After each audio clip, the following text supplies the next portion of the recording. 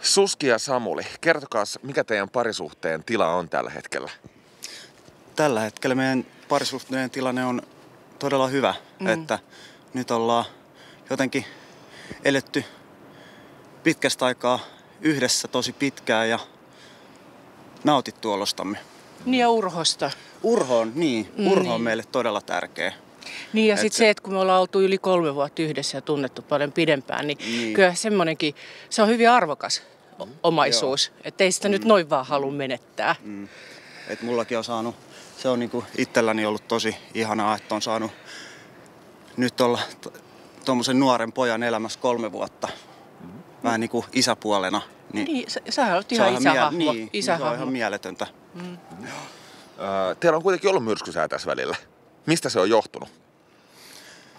No eiköhän kaikki sen suurin osa ole lukenut. mutta tota, Kasvukipuja. Ne, niin, mm. mutta nekin on semmoiset asiat, mistä me tullaan pääsee yli. Mm. Niin, pakkohan se on. Niin. viime syksynä siis oli ero, ero sitten hetkeksi aikaan, mutta se ei kestänyt kuitenkaan pitkään, muutamia viikkoja. Joo. Mikä sai palaamaan sitten yhteen? No just tämä, että kun ollaan, nyt tulee kolme vuotta täyteen, että ollaan oltu yhdessä ja se, että oikeastaan ollaan tajuttu, että ei oikein kumpikaan osaa elää ilman toista. Mm-hmm. ollaan jotenkin kasvettu niin yhteen ja sitten on vielä tuo Urhokin tossa mukana meidän perheessä, niin ei sitä jotenkin... Vaihda yksinäisyyteen niin. tai, tai uuden, uuden niin. tota, ihmissuhteen etsimiseen. Mm. Ei, musta ei ainakaan niin. ole siihen. Mm. Mitä te luulette, miten tuleva oikeuden, tai tulevat oikeudenkäynnit tulee vaikuttaa suhteeseen? No sen mä näkee sitten. Sen näkee sitten, mutta mä uskon, että ne kyllä tulee vahvistamaan vaan meidän mm. suhdetta. Mm. Mm. Ja te olette menossa vielä siis kuitenkin oikeuteen asioista? No ne on sala, no salassa ne, olevia niin. asioita, että ne, niihin ei voi sen enempää kommentoida, niin, mutta niin. täytyyhän ne selvittää. Niin.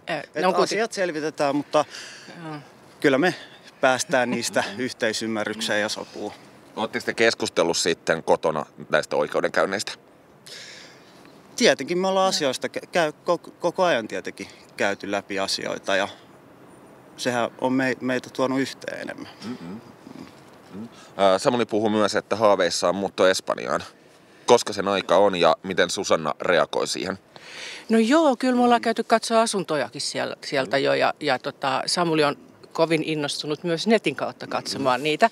Mutta tota, ei me nyt vielä, kun Urho on 10 niin. V, että kyllä se täytyy olla sit sen 15. ikäinen, niin, että hän matkustaa vaikka yksi lentokoneella ja mm-hmm. voi aina ottaa kaverin mukaan, mm. jos haluaa. Ja, tällaista. Että niin kauan me kyllä pysytään lähellä mm. pikkumiestä. Et näin, näin senkin mäkin olen ajatellut, mutta jossain vaiheessa tulevaisuudessa kyllä varmasti mm. sinne. Että sinne on kova halu päästä. Samunin kanssa puhuttiin myös eilen, että Samunin sukulaiset oikein ei hyväksy teidän suhdetta tällä hetkellä, niin miten sä Susanna reagoit siihen? Niin, en mä tiedä. Se on Samulin ja hänen niin. sukulaistensa asia. Että, että... Tai se on mun sukulaisten. niin. Ei meidän tarvi siitä välittää mm. pätkän vertaakaan. Mm. mm. Minkälaista teidän arki sitten tänä päivänä on? Samuli leikkisästi kutsui sua omaishoitajaksi. No joo, se on joo, meidän. Joo. Se on se meidän sisäpiirihuumori. Niin. Mutta meidän arki oikeastaan aika ihanaa. Niin, siis onhan, onhan Samuli siis on vahvasti semmoinen piirre, että hän hoitaa mielellään. Mm, että mm, silloin kun uh, urholiini on meillä, niin kyllä se on Samuli, joka laittaa ruuat ja joo. juoksee hakemaan jäätelöä. Ja... Joo, joo. mm. Et, ja, ja sitten ollaan innostuttu, sitten kuitenkin niin kuin, Suskikin on jonkin verran tuosta ruoan laitosta innostunut. No on, mä Joo. aikaisemmin mm. ennen sua laittanut sitä niin. kovastikin, että et kyllä Urho niin. vieläkin muistaa ja, ja kehuu, että niin. et mamma, mamma osaa kans. Niin, niin. niin mamman ruoat on, on parhaat. Joo, mm. kyllä. Mm. Ja näin se pitää ollakin. Niin. Mutta mitä muuta teidän arkeen kuuluu tänä päivänä? Meidän arkeen sitten lisäksi kuuluu, me katsotaan paljon leffoja Netflixistä. Joo, urheilu. Joo, se on myös semmonen. Joo. Kuunnellaan paljon musiikkia. Mm. Ja tota noin, niin, no nyt tietenkin ollaan seurattu paljon uutisia mm. koronaviruksesta. Mm. Ja valmistaudutaan myymään asuntoa. Niin. No joo. Sekin on tuleva. Joo. Niin ja sit mistäs, mistäs moinen? No se on silmällä pitäen sitä Espanjaan lähtöä tai näin. Et No joo. pikkuhiljaa, Niin, pikkuhiljaa. joo, Mm. ettei tulisi paniikkia, Mm. mutta tota, Mm. Mm.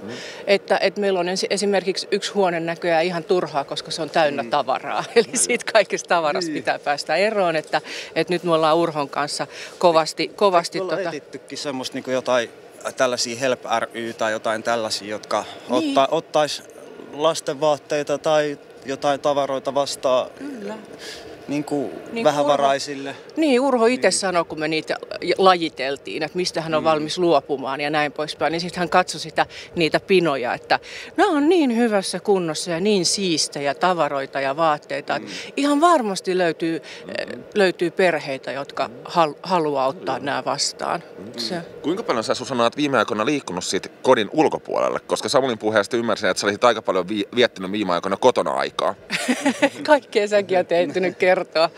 Joo, kyllä mä siis tota, en, en mä tiedä, kyllä mä, Kyllähän se silleen käy noita prokkiksi tekemässä. niin kyllä. Duppausta ja Joo, ja sitten tota, sit itse asiassa mä oon, no joo, tämä koronavirus viimeistään vei sen, vei sen tota, ettei käy enää kuntosalilla ja näin, eikä mielellään liiku tuolla ju- julkisilla paikoilla, ainakaan ilman hanskoja, mutta tota, ää, mut siis kuitenkin mä tykkään jumpata kotona. Mun mielestä se on ihan, Niin. Ja ihan nyt kun hyvä kevät paikka. alkaa ja kesä alkaa, niin mökkeily alkaa ja Niin. kaikki tällainen, mitä taas sitten oot odottanut oikein kovin paljon.